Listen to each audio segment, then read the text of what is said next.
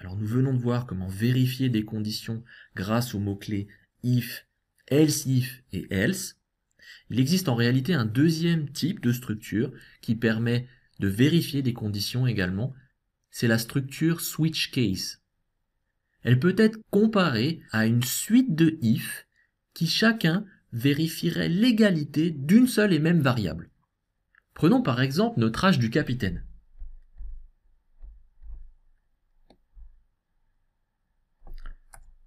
Je vais lui laisser l'âge de 28 ans ici. Et je vais supprimer ici else if au profit de switch case. Ceci s'écrit switch entre parenthèses le nom de la variable que vous voulez évaluer, âge du capitaine, puis accolade ouvrante, accolade fermante, et vous allez ensuite enchaîner les cases, les cas, sur des égalités précises qui vous intéresseraient. Par exemple, case 20, vous rajoutez ensuite deux points, et en général pour des questions de lisibilité on passe ensuite à la ligne, et puis la liste des instructions que vous voulez réaliser. Par exemple, système.println, le capitaine a 20 ans. Je peux rajouter un deuxième cas qui m'intéresserait, case 28, le capitaine a 28 ans. Alors si j'exécute ce code, on s'attend à ce que s'affiche le capitaine a 28 ans. Effectivement, c'est le résultat que l'on obtient.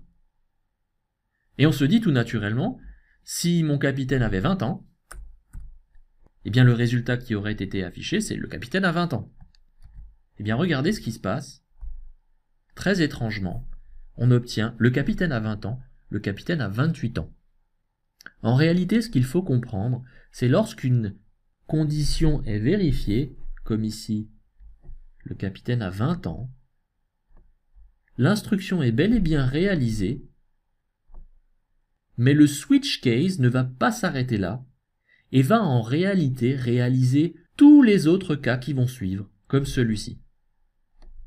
System.println, le capitaine a 28 ans. Et si j'avais rajouté case 35, eh bien ce cas-là aurait également été exécuté.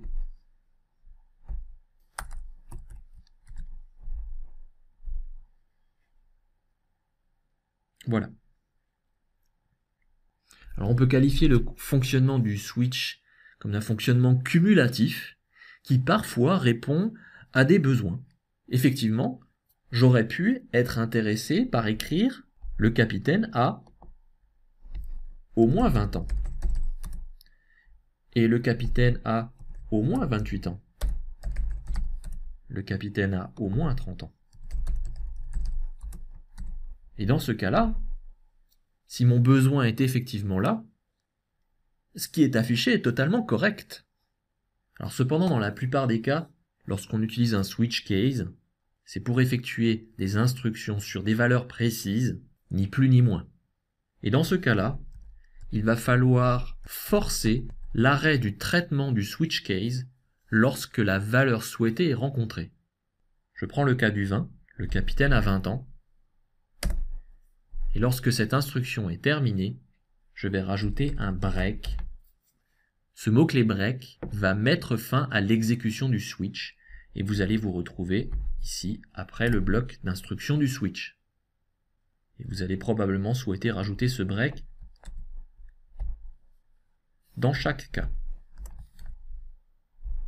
Alors le dernier est véritablement optionnel puisqu'il n'y a pas de cas suivant, de toute façon je réexécute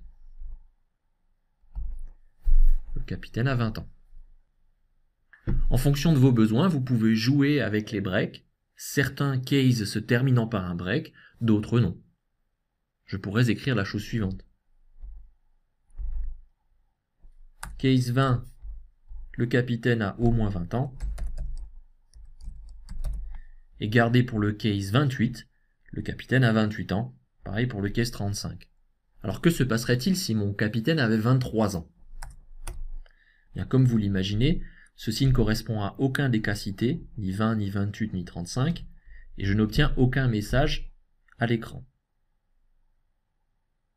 Eh bien, il existe dans la structure switch case un cas particulier qui s'appelle le cas default. Vous écrivez simplement default et non pas case default, juste default, deux points. Et vous inscrirez ici toutes les instructions que vous souhaitez effectuer si la valeur ne correspond à aucun cas listé ou bien qu'elle correspond à un des cas listés, mais que aucun break n'ait mis fin à la séquence de traitement avant d'arriver dans default. Alors on va juste effectuer un petit test pour expliquer ceci plus concrètement. Ici default, cette valeur ne correspond à aucun cas précis.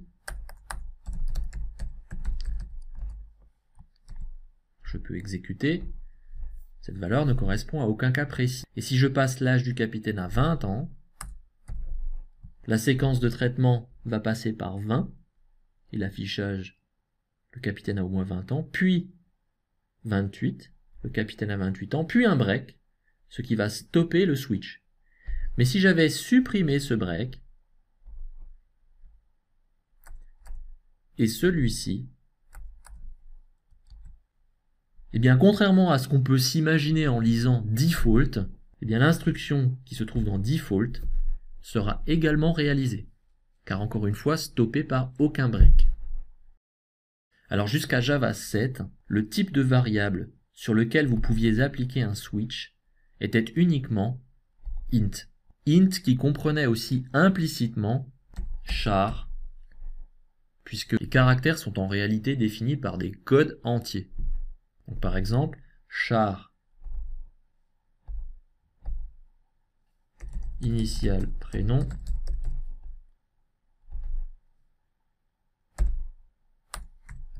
c'est switch initial prénom. Case a.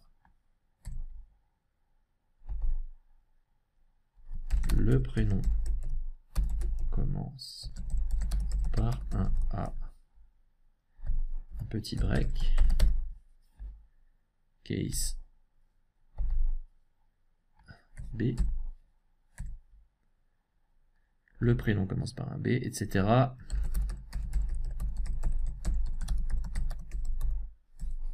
Je vais faire encore un dernier pour le C.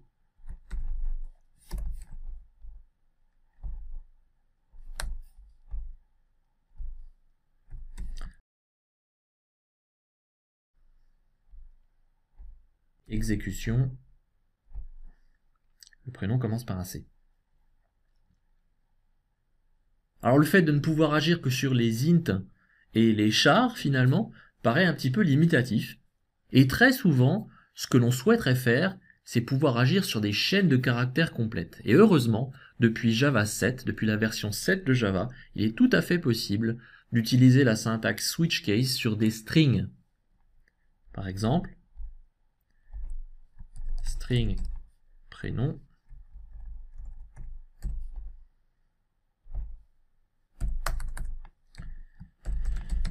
Michel. Case. Robert. Case. Michel. Case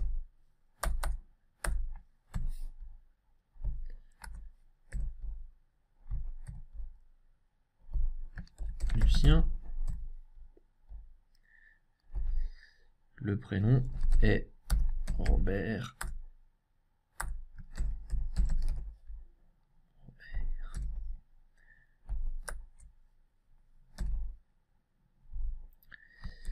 Le prénom est Michel et le prénom est Lucien.